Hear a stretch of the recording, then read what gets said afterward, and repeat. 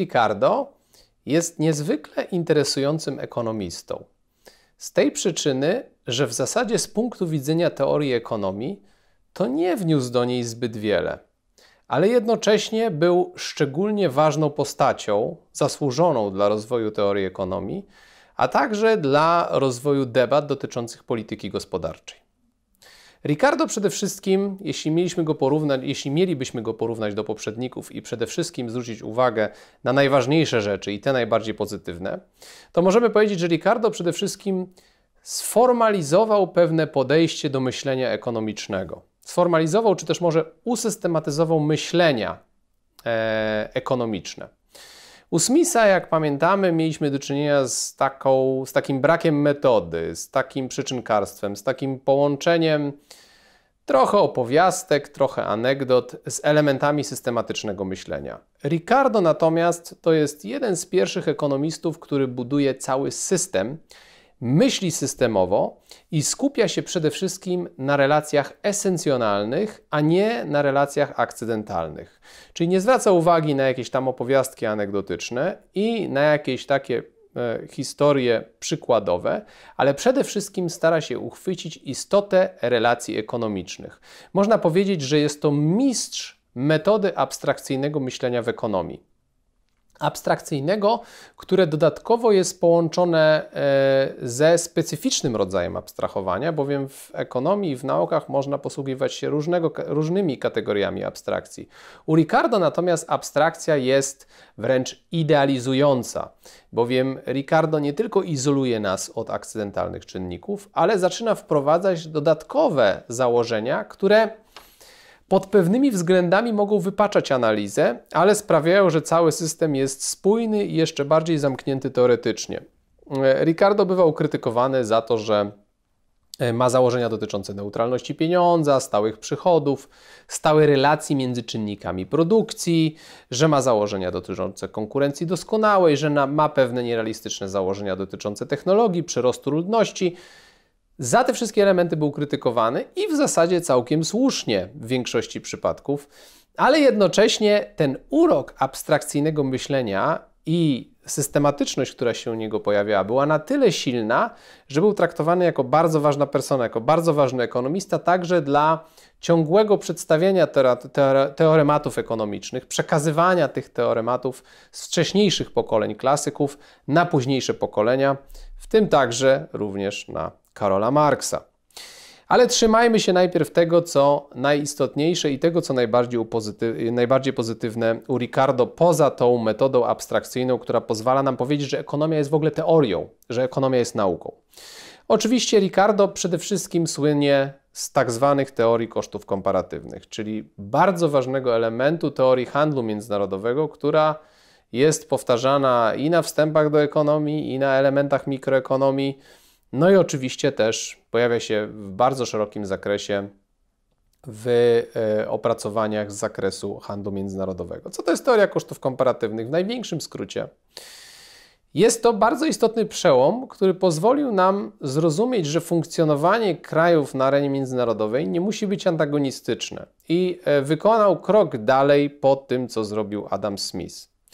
Mianowicie zwrócił uwagę na to Ricardo, że jak myślimy o handlu międzynarodowym, to należy myśleć nie w kategoriach kosztów absolutnych, ale w kategoriach alternatywnych scenariuszy. Na przykład, załóżmy, że jakiś kraj jest lepszy w produkowaniu wszystkiego. Na przykład jest w stanie produkować w danej jednostce czasu 200 pomidorów albo 100 cukinii.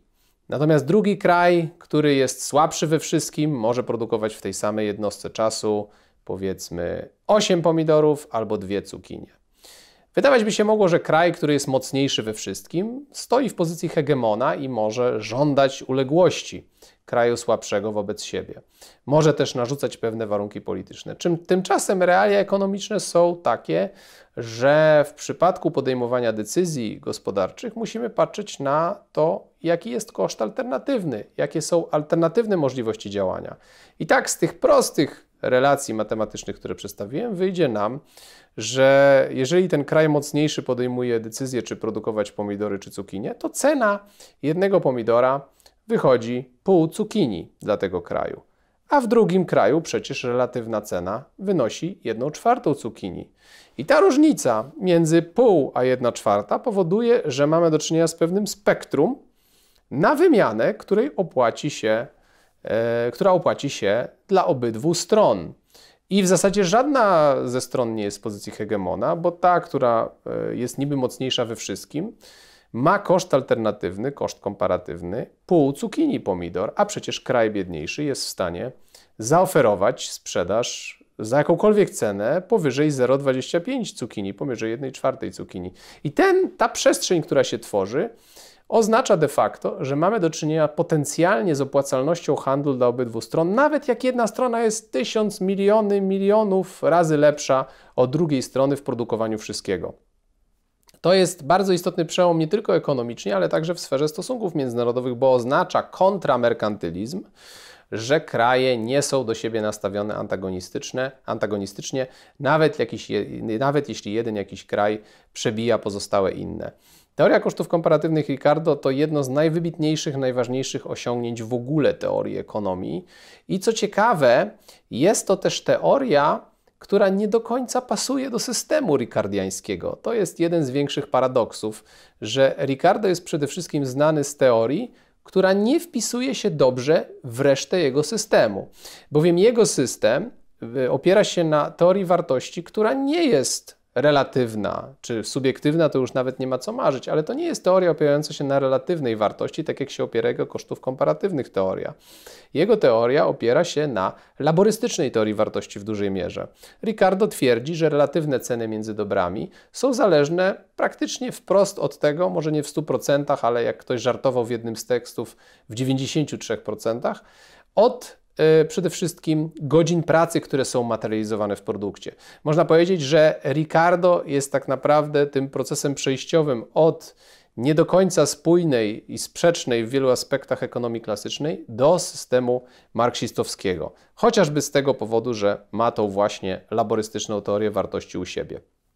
Ale trzymając się jeszcze pozytywnego wkładu, Ricardo miał też pewne istotne obserwacje dotyczące ekonomii pieniądza, Mimo, że jego ten model statyczny, abstrakcyjny opierał się na neutralności pieniądza i Ricardo nie chciał się skupiać na kwestiach pieniężnych, analizując pewne funkcjonalne kwestie, to kiedy zajmował się kwestiami pieniężnymi, to bardzo dobrze rozumiał teorię pieniądza, przynajmniej w istotnym makroekonomicznym zakresie, będąc obrońcą ilościowej teorii pieniądza, słynąc z tego tekstu High Price of Bullion, w którym, e, w którym atakował tak naprawdę koncepcje quasi-merkantylistyczne, czy takie, które opierały się na tezie, że E, przepływy pieniężne mm, e, powodują, czy wzrost, wzrost podaży pieniądza tak naprawdę wywołuje pozytywne efekty dla gospodarki. Ricardo był to taką stroną realną, tą, która zwracała uwagę na podobne mechanizmy, na które zwracał uwagę Smith, a wcześniej oczywiście też David Hume.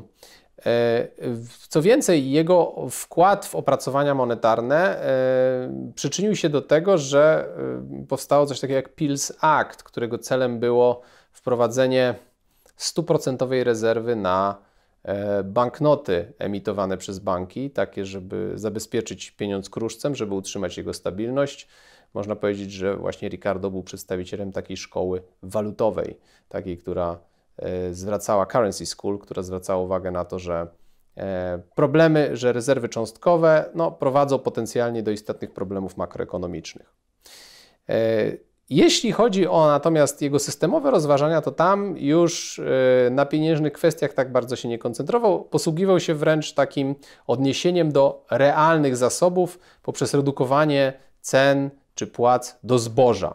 E, nie dlatego, że zboże jak gdyby to jest coś magicznego, szczególnego, tylko to, było, to był najlepszy sposób do tego, żeby skupiać się na wartościach realnych, kiedy analizujemy na przykład to, jak kształtują się poszczególne kategorie dochodów. I tutaj Ricardo tak jak powiedziałem, e, bardzo słynął ze swoich opracowań, ale dzisiaj w zasadzie nic już z nich nie zostało.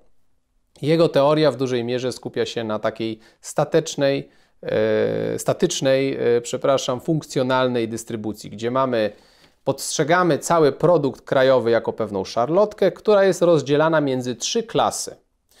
Więc jest znowu myślenie agregatowe, podobnie jak u Smitha, jest bardziej skonkretyzowane i jeszcze pełne większych problemów. Mamy bowiem z jednej strony klasę posiadaczy ziemskich, z drugiej strony mamy klasę kapitalistów, posiadaczy czynników produkcji i z trzeciej mamy pracowników.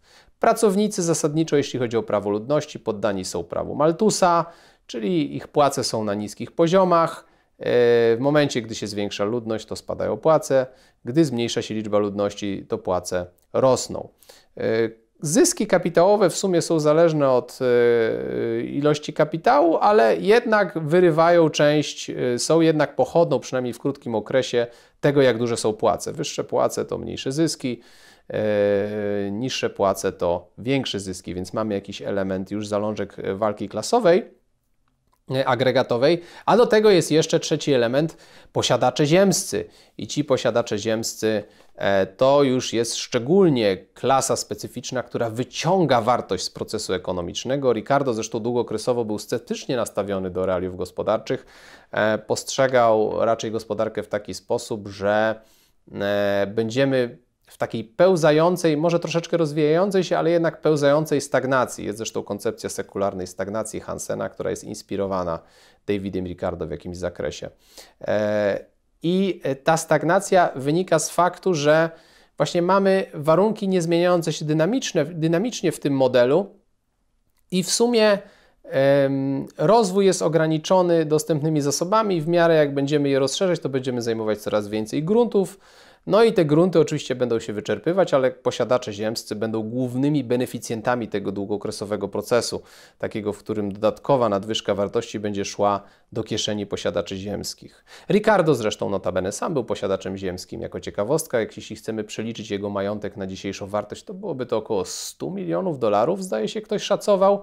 Ale co ciekawe, ta pozycja jego ekonomiczna nie wpływała na jego poglądy ekonomiczne, bo był przeciwnikiem ceł na zboża, które podbijały y, wartość renty dla posiadaczy gruntów, więc także i dla niego, ale on pozostawał wierny konsekwencjom prawa kosztów komparatywnych i zwraca uwagę na to, że z ekonomicznego punktu widzenia cła nie są dobrym rozwiązaniem dla ogółu społecznego, nawet jeśli są dobrym rozwiązaniem dla niego. Dosyć szczytna postawa. E, Ricardo też niektórzy mówią o tym, że wprowadził taką koncepcję renty różniczkowej, która może być interpretowana przy bardzo korzystnym podejściu jako zalążek e, prawa malejącej użyteczności krańcowej, czy też e, w zasadzie prawa marginalnej, malejącej, prawa malejących marginalnych przychodów, zastosowana do ogólnej teorii wyceny ale niektórzy uważają, że to jest interpretacja na wyrost, taki jeden pewien e, drobny element. Renta różniczkowa mówiąca o tym, jak poszczególne renty na kawałki gruntu się różnią i że, e, że to decyduje, od którego momentu zaczynamy gospodarować, zajmować e, poszczególne tereny. Jak powiedziałem, Ricardo tak naprawdę był zwolennikiem teorii maltuzjańskiej. Jeśli chodzi o ludność, to też w tym aspekcie się pomylił. Nie, jeszcze warto wspomnieć o efekcie Ricardo, który jest raczej kojarzony z Friedrichem Augustem von Hayekiem. E, on głównie się tym zajmował, ale Ricardo miał pewne obawy dotyczące bezrobocia technologicznego. Więc jego podejście do technologicznego, czyli, czyli bezrobocia wśród y, siły roboczej, e, jak sama nazwa wskazuje, powodowanego tym, że mamy postęp technologiczny. Tak? Czyli i, i zwraca uwagę na to, że to nie jest zabobon, Uważam, że to nie jest zabobon, że e, bezrobocie technologiczne się pojawia w momencie, jak mamy postęp technologiczny. No w jakim zakresie pewnie tak jest, natomiast no, długookresowo widzimy, że e, raczej nie pojawia się problem przy postępie technologicznym z e, poziomami zatrudnienia dla populacji, szczególnie jak się pogłębia mm, kapitał ludzki. Natomiast Ricardo przed tym jak gdyby przestrzegał się, obawiał, E, to jest taka rzecz, która również wydawała się ponura w jego systemie, więc w jego systemie mieliśmy ponure perspektywy, jeśli chodzi o długookresowy wzrost, ponure perspektywy, jeśli chodzi o konflikty klasowe i też ponure perspektywy, jeśli chodzi o zatrudnienie. E, w literaturze jeszcze pojawia się coś takiego jak ekwiwalent Ricardo, czy ekwiwalencja ricardiańska, kojarzona głównie z Robertem Baro, mówiąca o tym, że mm, e, wydatki rządowe w sumie nie ma aż takiego znaczenia, czy są finansowane podatkami, czy długiem publicznym, bo następują dostosowania w preferencji oszczędności, ale to jest taki e, teoremat, powiedzmy, techniczny, e, który był u Ricardo bardziej zastosowany do jednego konkretnego jednostkowego przypadku, który analizował, a nie, do, a nie jako coś bardziej uniwersalnego. Podsumowując, jak powiedziałem na wstępie, Ricardo był myślicielem szalenie interesującym, który odegrał ogromną rolę na myśleniu e, wielu ekonomistów i kolejnych pokoleń ekonomistów, ale jeśli mielibyśmy dokonać całkowitej analizy tego, co wprowadził do teorii ekonomii, to musimy uczciwie powiedzieć, że niezbyt wiele, a całkiem sporo też wprowadził nieporozumień.